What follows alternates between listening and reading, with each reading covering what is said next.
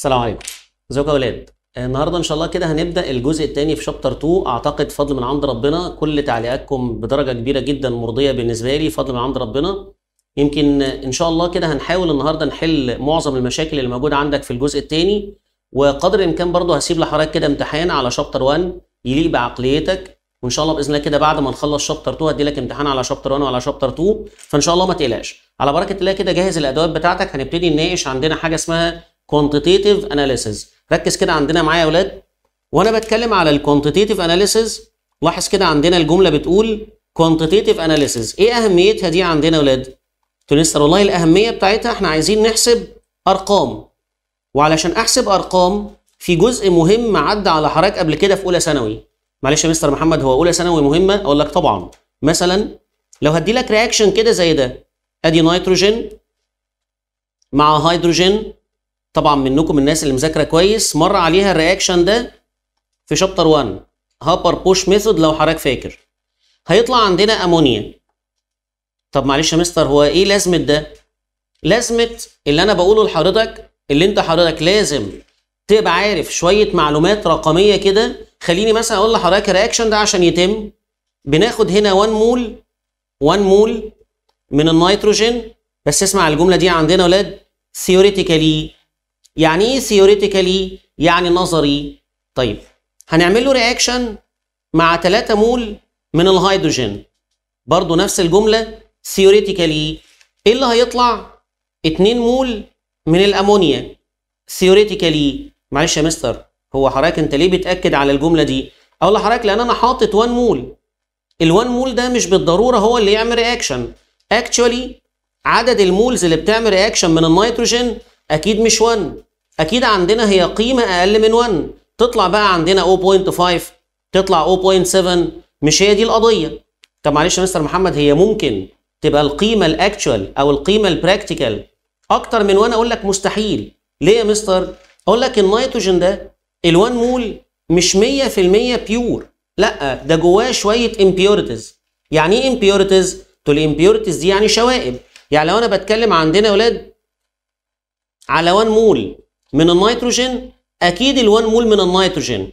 جواه شوية نيتروجين pure ومعاه شوية impurities طيب ال impurities ما بتعملش reaction اللي بيعمل reaction عندنا هي ال substance عندنا ال pure آه ارجع كده لأولى ثانوي. في عندك درس شديد القيمة شديد الأهمية بالنسبة لك. حاجة اسمها practical yield و theoretical yield هنا عندنا يا أولاد الأرقام اللي أنا بكتبها من ال equation اسمها الأرقام ال theoretical سواء عدد المولز الثيوريتيكال أو الماس الثيوريتيكال أو الكونسنتريشن الثيوريتيكال لكن اللي بيخش في reaction عندنا يا أولاد حاجة تانية خالص حاجة أقل شوية من ال theoretical اسمها actual أو اسمها practical طب معلش يا مستر محمد لأن الجمل دي هنستخدمها. يعني دلوقتي عندنا بقول لحضرتك إيه؟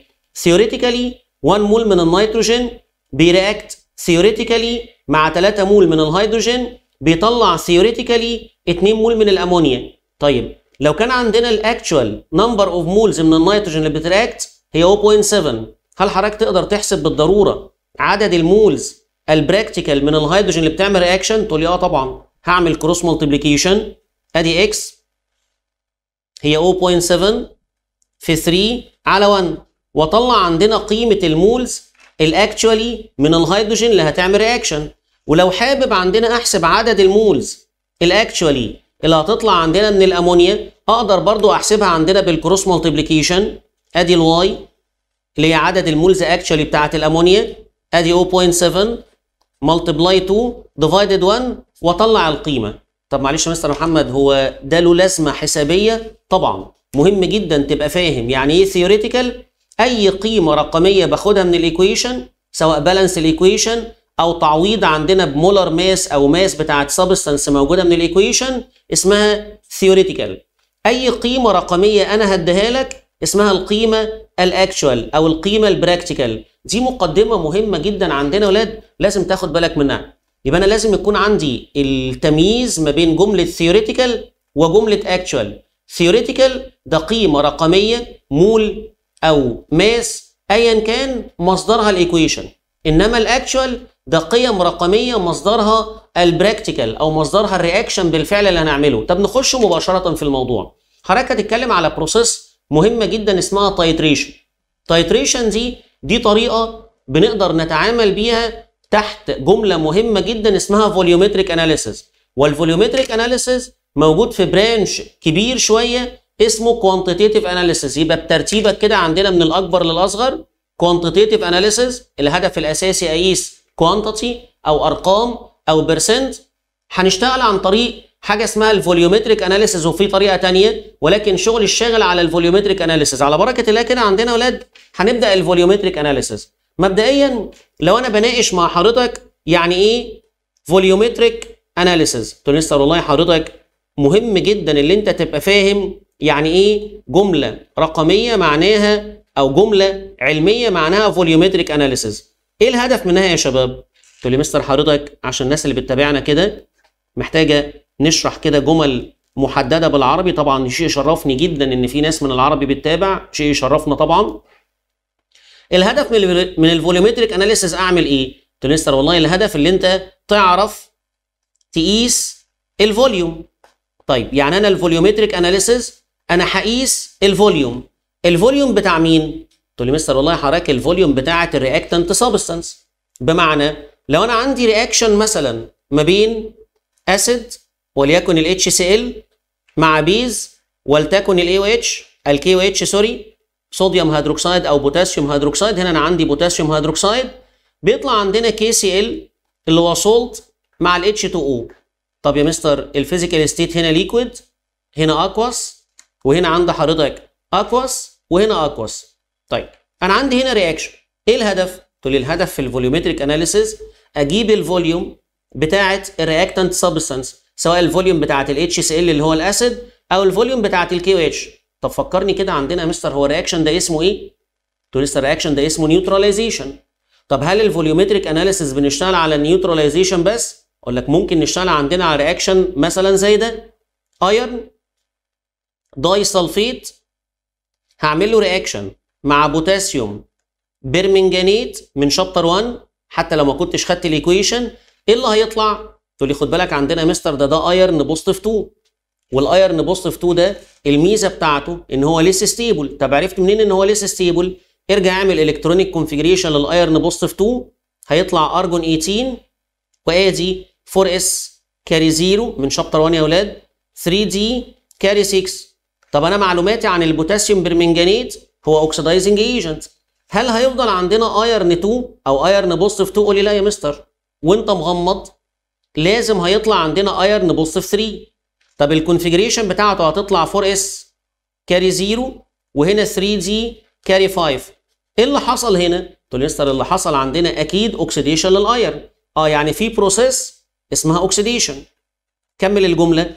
يبقى ال iron ده هو reducing agent طب وال potassium permanganate تقول مستر مليون في المية من غير ما أكمل ال equation أكيد هو حصل له reduction يبقى أكيد هو oxidizing agent تاني. يعني أنت ممكن تعمل reaction ما بين acid و base اسمه neutralization ممكن تعمل reaction ما بين reducing agent و oxidizing agent اسمه redox اسمه إيه يا مستر؟ redox يعني إيه redox يعني oxidation reduction أو ممكن تعمل reaction ما بين اتنين aqueous solution NaCl aqueous مثلا مع silver nitrate أعتقد silver nitrate ده مر على حضرتك كتير جدا. فكرني كده كان بيعمل detection على كام radical تقول لي في نطاق منهجنا كان بيعمل detection على 6 radical لو فاكر.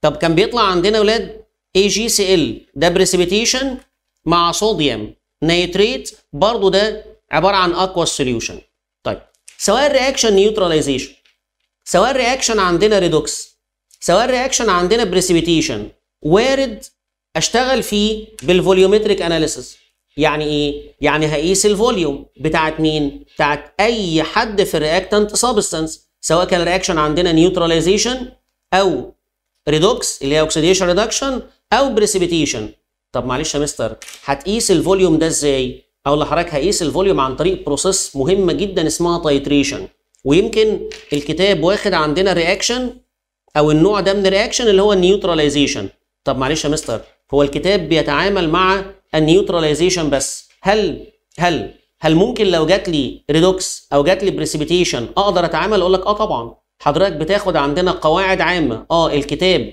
مركز على قصة ال neutralization لكن متاح تشتغل على redox أو تشتغل على ال precipitation زي ما هنشوف مع بعض. طيب خلينا كده عندنا يا أولاد آخد reaction اللي هو ال neutralization ما تنساش إن أنا هتكلم على process مهمه جدا اسمها ال titration طيب إيه ال titration ده؟ تقول مستر حضرتك نكتب أول كده ال equation اللي أنت بتتكلم عليها أقول لك أنا هختار acid وليكن HCl aqueous مع base ولتكن ان يو اتش برضه aqueous أكيد عندنا ده neutralization اللي بيطلع عندنا يا ولاد أدي صوديوم كلورايد ده salt aqueous مع H2O الحالة بتاعته عندنا liquid طيب أنا هعمل إيه يا مستر؟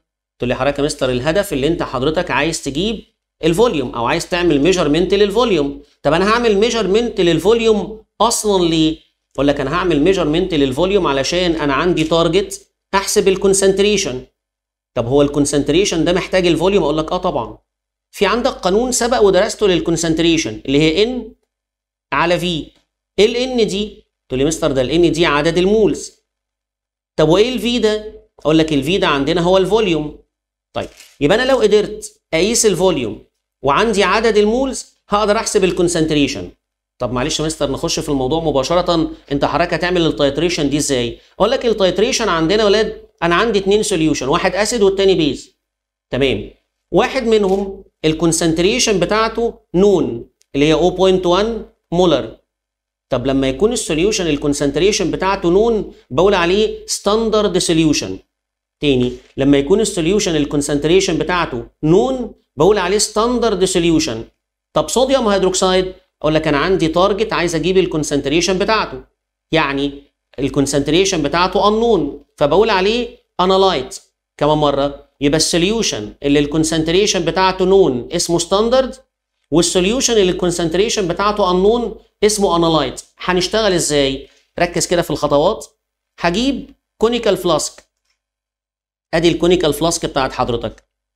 وبعدين نحط في ال conical flask دي عندنا يا ولاد ال solution اللي ال concentration بتاعته انون اللي هو مين؟ تقول لي مستر اللي هو sodium hydroxide طيب مجرد ما حطينا ال sodium hydroxide داخل ال conical flask تقول مستر ال sodium hydroxide لو رجعت كده لأولى ثانوي كان عليها أرقام أو كان عليها تدريج.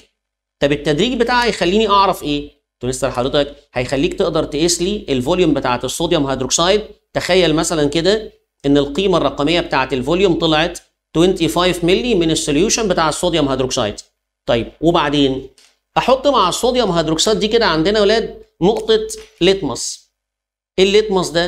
تقول لي مستر ده ال litmus ده عبارة عن chemical substance هقدر أعرف بيه نوع ال solution وهنا عندنا ال litmus هتدي لك لون blue طب ليه اديت لك لون blue تقول مستر ما حضرتك ما انت حاطط تحت في ال conical flask عندنا sodium hydroxide طيب كمان مرة. يبقى دايما بنحط في ال conical flask ال solution unknown ال concentration هل دايما يبقى sodium hydroxide تقول لي لا مش بالضرورة. على حسب أنا عندي فقط هما اتنين solution واحد منهم known بنسميه standard والتاني انون بنسميه analyte طيب وبعدين؟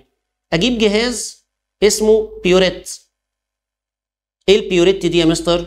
ده عبارة عن test tube كده مفتوحة من الناحيتين وليها تدريج خاص. إيه التدريج الخاص ده؟ هتعرف حالا لأن التفاصيل القديمة دي بتاعت أولى ثانوي مهمة جدا لحضرتك. ده كلام كده كنت بتاخده في chapter 1 في أولى ثانوي. زمان جدا كده. طيب هنملى ال burette دي بإيه؟ بص حضرتك انت أصلا ما عندكش غير هما اتنين solution واحد انون اللي هي sodium hydroxide واحد known concentration اللي هو ال hydrochloric acid طيب يبقى أنا حاطط فوق ال hydrochloric acid ادي اتش سي ال اللي هي ال concentration بتاعته. طبعا هو aqueous solution وأنا قايل لك ال concentration بتاعته 0.1 molar طيب تدريج ال burette. تدريج ال burette عندنا يا ولاد ال zero من فوق. والقيمة ال maximum من تحت. آه يعني مثلا كده هنقول إن ال burette مترقمة من zero لغاية 100 يعني إيه؟ يعني أنا حاطط هنا 100 مللي من ال hydrochloric acid. طيب وبعدين؟ نبتدي بقى نتعامل. نتعامل إزاي؟ ابتدي حضرتك عندنا يا مستر سيب ال hydrochloric acid by dropping نقطة نقطة يعني ما تدلقش يا أولاد لازم أسمح لل hydrochloric acid إن هو ينزل نقطة نقطة على ال solution بتاع ال sodium hydroxide إيه اللي هيحصل؟ تقول لي أول نقطة من الاتش سي ال هتعمل reaction مع شوية sodium hydroxide تمام؟ هل لون ال litmus هيتغير؟ تقول لي لا يا مستر حضرتك أنا حاطط كمية sodium hydroxide تحت 25 مللي ماشي. اعمل dropping من ال sodium hydroxide اعمل dropping sorry من ال hydrochloric acid على sodium hydroxide هل أفضل أعمل dropping كده إلى إلى ما لا نهايه أقول لك لا. اعمل dropping لغاية ما لون ال litmus ال violet ده ال blue دي sorry تتحول للون violet. معلش يا مستر هو إيه اللي هيحصل يعني لما لون ال litmus عندنا يتحول من blue ل violet؟ أقول لك ده معناه إن أصبح جوه ال conical flask دي عندنا يا ولاد salt اللي هو ال NaCl مع ال water والاثنين دول الحالة بتاعتهم الفاعلية بتاعتهم عندنا على ال litmus neutral كمان مرة. يعني سيادتك هتحط لنا هنا ال solution ال unknown concentration وليكن ال sodium hydroxide مجرد ما تحط هنا انت كده عرفت ال volume بتاعته. تمام. وتملى ال burette دي عندنا. تدريج ال burette ال zero من فوق والقيمة ال maximum من تحت. أنا افترضت إن ال burette عندنا تدريجها من 0 ل 100 فقلت لك عندنا هنملى 100 مللي من ال hydrochloric acid وبعدين نعمل dropping من ال standard على ال analyte طب لما نعمل dropping من ال standard على ال analyte إيه اللي بيحصل؟ بفضل أعمل dropping لغاية ما لون ال litmus يدي لك اللون ال violet. هو كان لونه الاصلي إيه يا شباب؟ تقول لي كان لونه الاصلي blue طب اتحول للون ال violet. أول ما يتحول للون ال violet وقف ال dropping وقف ال dropping شوف حضرتك استخدمت acid قد إيه. مثلا لو أنا بادئ من zero ونزلت مثلا لغاية 35 ده معناه إيه؟ تقول لي مستر ده معناه إن أنا اشتغلت أو استخدمت أو استهلكت 35 ملي من ال hydrochloric acid تاني يبقى أنا عندي ال concentration بتاعت ال hydrochloric acid 0.1 molar وال volume اللي أنا عملت بيه reaction 35 ملي وأنا عارف أنا حاطط sodium hydroxide هنا 25 ملي بس ال concentration بتاعتها انون الله؟ يبقى أنا عندي كده مجموعة أرقام. عندي ال concentration بتاعت ال hydrochloric acid عرفتها عن طريق ال conical flask وعندي ال concentration بتاعت ال hydrochloric acid اللي هي موجودة عندي آه، دي ال concentration بتاعت ال sodium hydroxide unknown وال volume بتاعته عرفته عن طريق ال conical flask اللي هي 35 ملي طب وال hydrochloric acid قولي ال concentration بتاعته لأن هو standard فهي known وال volume بتاعه اللي أنا استخدمته عرفت عن طريق التجربة اللي هي ال titration دي عرفت إن أنا هحتاج 35 ملي معلش يا مستر محمد هل ده رقم ثابت؟ أقول لك أكيد لا طبعا. ده أنا ده قسته عن طريق ال titration process وقفت ال dropping لما وصلت عندنا لحاجة اسمها end point الله؟ يعني أنا يا مستر هشوف عندنا ال volume بتاعي اللي أنا نزلته من ال ال ال burette دي هو قد إيه؟ أول ما أشوف عندنا وصلت لل end point أو ال equivalent point أو ال neutral point كلهم حاجة واحدة. تاني end point equivalent point neutral point كلهم حاجة واحدة. لاحظ ان أنا هنا بالفعل عمليا قست إيه؟ قلت له مستر انت بالفعل عمليا انت قست ال volume. فين ال volume اللي انت قسته ده يا ولاد؟ أقول لحضرتك أنا قست ال volume بتاعة ال sodium hydroxide عن طريق ال conical flask وال volume بتاعة ال hydrochloric acid عن طريق ال burette. الله يبقى إحنا كان عندنا حق نسمي ان كل ده طريقة اسمها volumetric analysis أو branch من ال quantitative analysis اسمه volumetric analysis لأن أنا هنا بشتغل بعمل measurement لل volume. طب أنا قست ال volume بتاع ال sodium hydroxide اللي هو ال analyte وبتاعه ال hydrochloric acid اللي هو ال standard. بس خلي بالك أنا بقيس ال volume بتاع ال standard ده اول ما الاقي نفسي وصلت لل end point. طب مين هيعلمك إذا كنت وصلت لل end point ولا لأ؟ قول لي مستر ال litmus. طب هل في غير ال litmus؟ طبعا. في غير ال litmus حاجات كتيرة جدا. زي methyl orange زي bromothymol blue زي phenolphthalein دي مجموعة indicators ممكن حضرتك تستخدمها عشان تقيس أو تعرف إذا كنت وصلت لل end point ولا لأ. تاني. يبقى أنا كده بعمل process اسمها titration عملتها إزاي؟ جبت عندنا solution fixed known concentration سميناه standard و solution تاني unknown concentration سميناه analyte دايما شغلك على ال neutralization ما بين acid و base تمام. هنحط دايما ال analyte اللي هو ال unknown concentration داخل ال conical flask ونعرف ال volume بتاعته ونحط معاه نقطة indicator وبعدين نملى ال burette بال standard. أنا بختار ال standard على أساس ال analyte.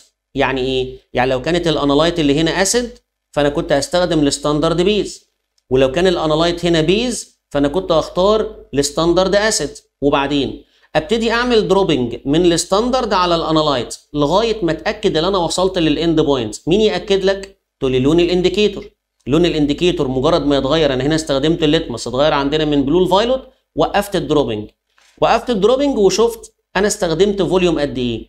أول ما أقيس ال volume بتاع ال standard اللي حصل له consumption أو اللي حصل له reaction مع ال analyte اللي جوه أوقف ال dropping. طب وبعدين يا مستر؟ أصبح عندي معلومات رقمية concentration بتاعة ال acid وال volume بتاع ال acid ال concentration بتاعة ال base unknown وال volume عندنا بتاعة ال base known طيب يا مستر الرقمين دول اسمهم عدد ال moles.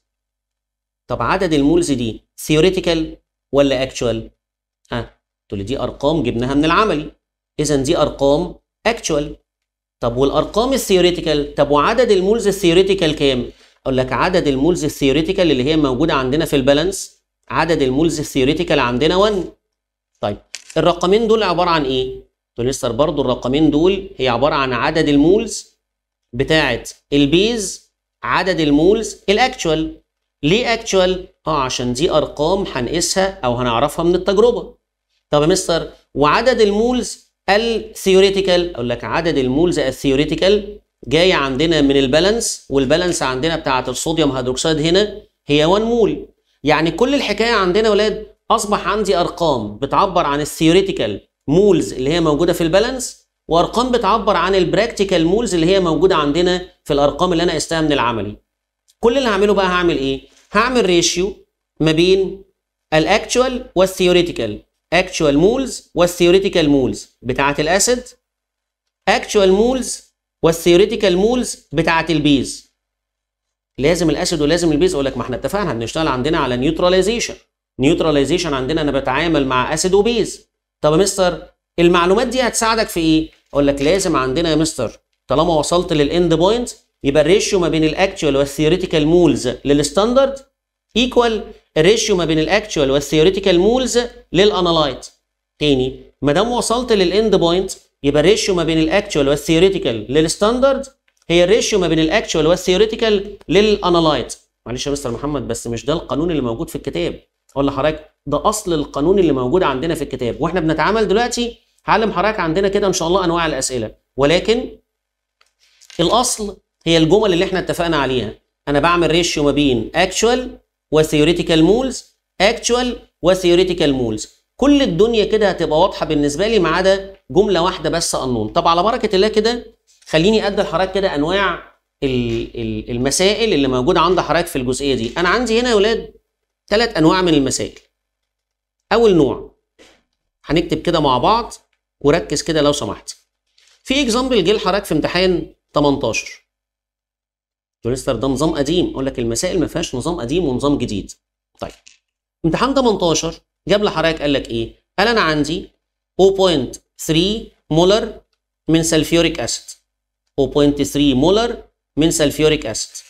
added added ل 25 molar آه سوري 25 ملي من sodium hydroxide 25 ملي من sodium hydroxide طيب بيقول لحضرتك ايه بقى يا مستر find find the concentration او the molarity of sodium hydroxide find the concentration او the molarity of sodium hydroxide when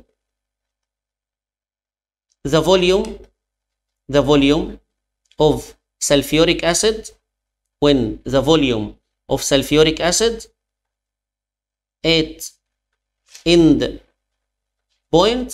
End point دي عندنا يا مستر اللي هي ال neutral point is 35 ملي طيب ده السؤال. وطبعا لو إحنا عايزين نحوله بقى للنمط الجديد هدي لك عندنا اختيارات. هشتغل إزاي؟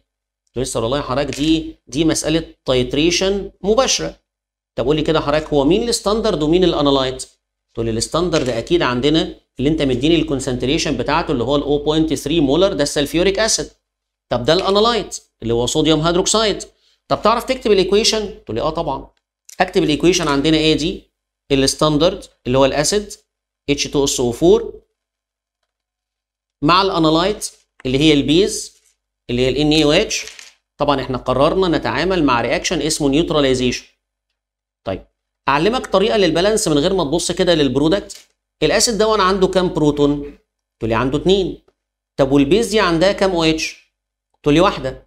كل اللي هعمله عندنا يا ولاد هخلي عدد ال protons اللي موجودة عندنا في ال acid قد عدد ال OH اللي موجودة عندنا في ال base. طب دي 2 ودي 1 كل اللي حضرتك هتعمله هتحط لنا هنا كده 2 تاني.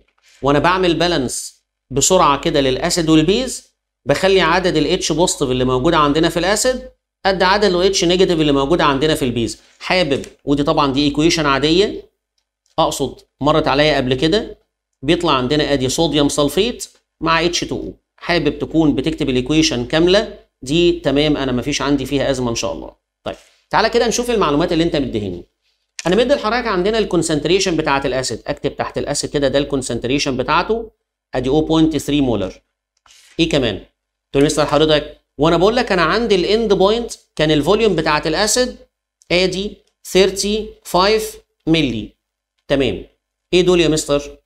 تقول مستر حضرتك ده دول ال actual number of moles actual number of moles طب وال theoretical number of moles تقول لي مستر ال theoretical number of moles عندنا هي 1 فين ال1 دي؟ أقول لك ال1 ده عندنا يا مستر اللي هي جاية عندنا من ال balance. طب ما تقول لي بنفس المبدأ. إيه بنفس المبدأ؟ ال theoretical number of moles من ال sodium hydroxide تقول لي 2 تقول لي آه تمام. عشان كده أنت عملت balance طيب نكمل القراية بتاعتنا. 25 مللي من sodium hydroxide آه أدي ال volume بتاع ال sodium hydroxide أدي 25 مللي أنا بكتب ال unit وهتعرف إيه السبب. إيه المطلوب؟ أقول لك المطلوب عندنا أنا عايز ال concentration بتاعة ال sodium hydroxide دي عندنا unknown طيب كمان مرة. إيه الرقمين دول يا أولاد تقول لي ده الرقمين دي أو الرقمين دول ده ال actual number of moles طب وده؟ ده ال theoretical number of moles تاني يبقى أنا عندي أرقام actual أرقام موجودة عندنا في التجربة أرقام هو بيديها لك وأرقام theoretical أنت مصدرها. يعني الأرقام ال theoretical دي حضرتك المصدر بتاعها. طب تمام. وبعدين؟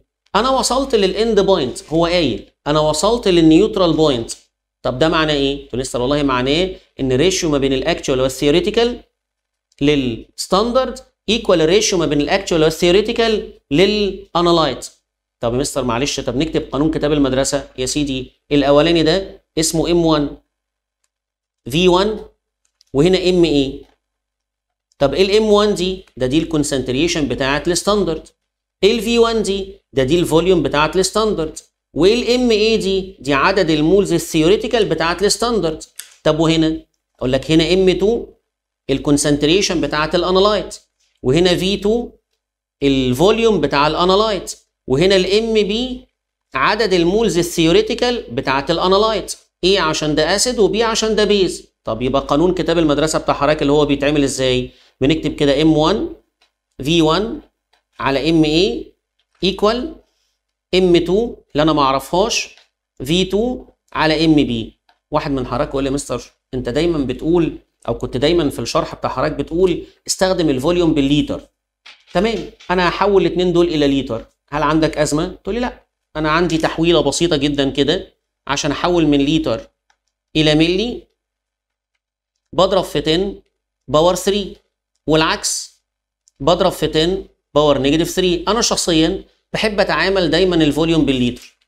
طب معلش يا مستر محمد بس إحنا ملاحظين إن ده 1 ملي وده ملي. يقول لك خلاص ما دام الاثنين عندنا نفس ال unit فما تحولش. عايز تخليك في ال safe side وتحول دايما عندنا إلى لتر آه تعمل التحويلتين مرة واحدة ما فيش مشكلة. ولكن طالما عندنا الاثنين دول نفس ال unit فأنا ما فيش عندي أزمة. طب ابتدي حضرتك بقى عوض وشوف عندنا الحاجات اللي ناقص لها أو الحاجات الناقصه الناقصه عندنا. هعوض عندنا بقى التعويض المباشر بتاع حضرتك. أدي 0.3 في 35 الحاجات دي موجودة عندي. divided 1 equal M 2 اللي أنا ما أعرفهاش في 25 divided 2 كده ناقص لحضرتك عندنا فقط ال M 2 اللي هي ال concentration ده النمط الأول من المسائل. قلت لسه حضرتك يعني هي الدنيا بتيجي بسيطة جدا كده. إن شاء الله الدنيا هتبقى بسيطة إذا حضرتك فهمت. والدنيا هتبقى صعبة جدا إذا حضرتك عندك أزمة في الفهم. فخد بالك إذا حضرتك فاهم بالظبط هتبقى الدنيا مباشرة وسهلة. إذا حضرتك عندك لا قدر الله مشكلة هيبقى أي حاجة سهلة هتبقى عندك معقدة. ده النمط الأول من المسائل على قصة ال volumetric analysis وال titration. كمان مرة؟ يبقى في ال volumetric analysis أنا كان عندي اتنين solution واحد عندنا fixed known بنسميه standard والتاني عندنا انون بنسميه analyte تعاملت إزاي؟ كتبت ال equation.